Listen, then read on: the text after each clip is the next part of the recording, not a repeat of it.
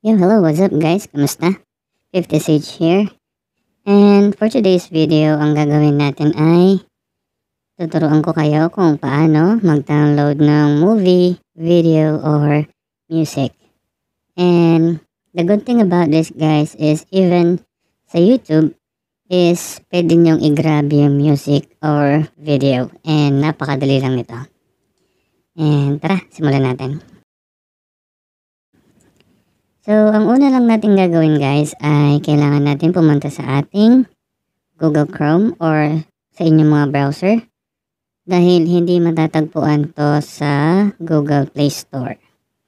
At ang gagawin natin ay isearch lang ang VidMate APK. Then, ang lalabas dito, itong pinakauna, VidMate APK app version 5. Ito yung click natin kasi siya yung nasa pinakataas or pinaka-updated. Lang natin. Then, click lang natin yung download guys.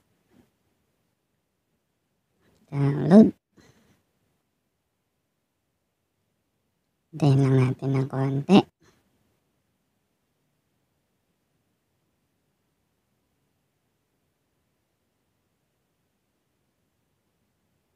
Ayun.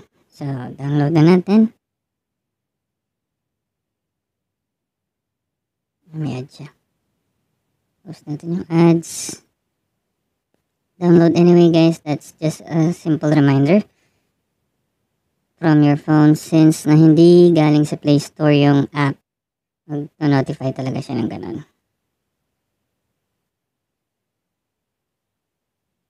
So, ayun. Once na na-download natin, click lang natin siya. Then, install. Then lang ulit natin.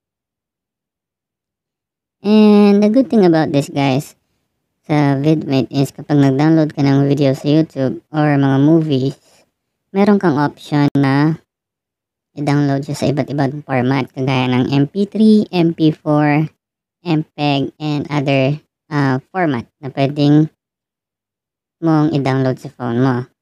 For example, if kumuha ka ng music sa isang radio station na in-upload nila sa YouTube nila, pwede mong i-download yung video mismo to watch it on your phone or on your TV with the music video itself. Or gusto mo lang naman ng sound trip lang, naka-headset habang bumabiyahe, pwede mong i-download yung file as MP3 lamang or as a music lang.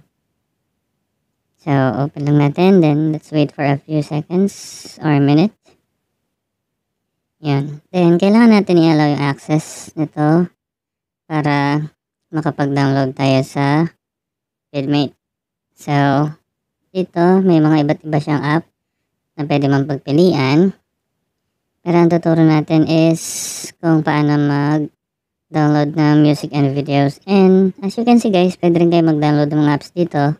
Just para rin siyang Play Store.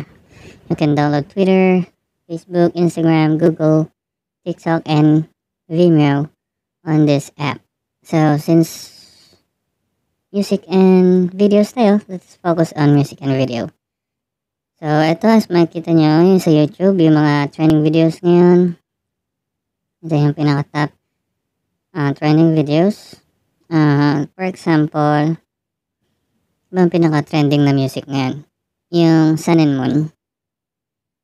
Search natin ang Sun and Moon. Yan. I-download natin yung official music video niya. Para i-download siya guys, uh, click nyo lang tong nasa pinaka right side which is yung download. Click natin. And ito yung sinasabi ko kanina, yung format ng pagda-download natin. If gusto natin siya ng MP3, ang mas masasuggest ko is pinaka high quality or pinaka magandang quality is yung 128K MP3 format.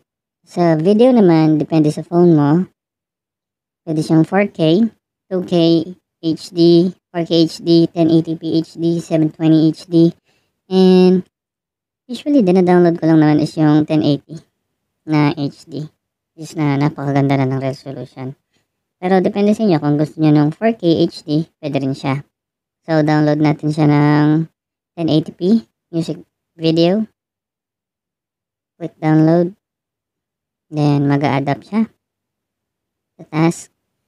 We can X this one or we can go back. Then we Then, habang nagda-download siya guys, pasensya na medyo mabagal yung internet ko. Pwede natin i-download ulit siya as MP3 file. Ayan, there you go. MP3 file. Select the MP3 file which is 3.65 MB lang siya. Yung kanina, yung 1080p HD is 137 MB lang which is na napakababa.